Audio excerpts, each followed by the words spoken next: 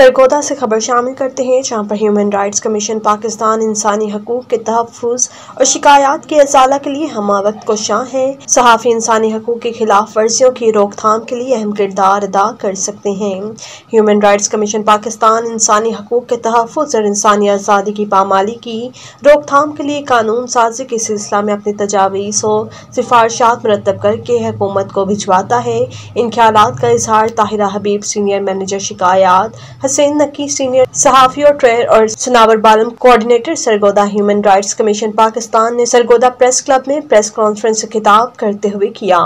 उन्होंने कहा है कि ह्यूमन राइट्स कमीशन शिकायत सेल को महाना सैकड़ों शिकायत मौसू होती हैं, जिनमें पुलिस की ज्यादतियों खातन पर तशद महकमाना मसाइल अकलीतों के हकूक, जबरी तब्दीली मज़हब, जबरी गुमशुदगियों और साइबर जराइम शामिल हैं। इन शिकायत के अजाला के लिए फौरी तौर पर मुतल हकाम से रबता करके कार्रवाई शुरू कर दी जाती है। एच आर सी पी का अदारों के साथ बर रास्त रेफरल निज़ाम है, जिसका मकसद शिकायत के फौरी अजाला को यकीनी बनाना है। उन्होंने कहा है कि संगीन नोयत के मामला में एच आर सी पी एक फैक्ट फाइंडिंग टीम भिजवाता है ताकि शिकायत की मजीद छानबीन की जा सके, जिसके बाद हम अपने मुशाहदा की बुनियाद पर एक बयान या रिपोर्ट जारी करते हैं। सिर्फ़ इंसानी हकूक की संगीन खिलाफ वर्जियों के मुतलिक मुश्तर शिकायत की सूरत में कानूनी मावनत फ्राहम की जाती है। उन्होंने कहा है कि इंसानी हकूक के खिलाफ वर्जियों की रोकथाम के लिए आवाम में आगाही पैदा करने के लिए इंसानी हकूक की तंजीमें मुख्त प्रोग्राम और सेमिनार मुनद करती हैं।